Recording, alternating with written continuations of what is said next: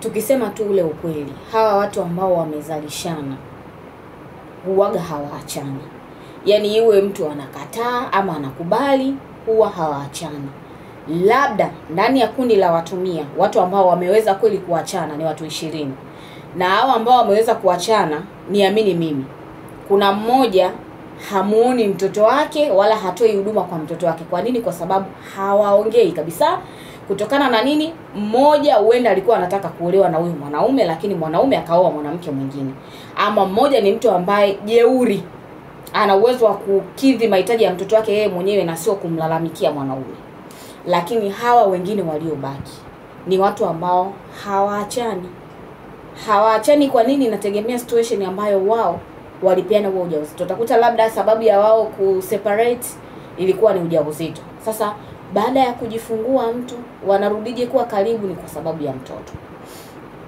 We imagine uko kwenye mahusiano na baby daddy wa mtu, lakini ratiba zake zote huyo baby mama wake anazijua, kitu anachokifanya, maisha yake, mali zake zote baby mama anazijua. Nakumbuka hapo hajamuoa na anakwambia tunalea tu mtoto sawa.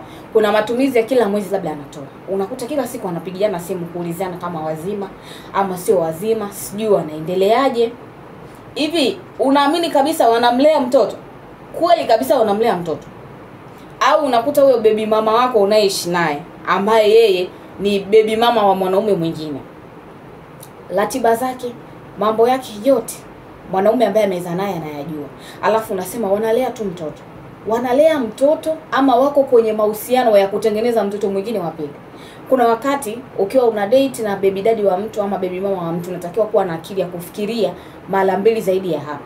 Wengi uwaga hawaachani, na wengi ambao mko ndani ya ndoa na hao wanaume ambao wamewazalisha wanawake wengine, mnazungukwa.